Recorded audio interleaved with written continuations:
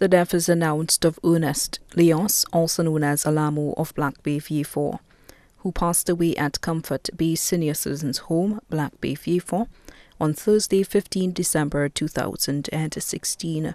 He was 87 years old. He was a member of the St. Lucia Labour Party, Laborie constituency.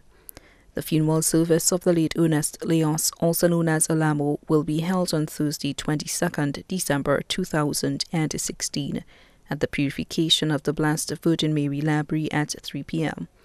And then the body will be laid to rest at Latuni Cemetery.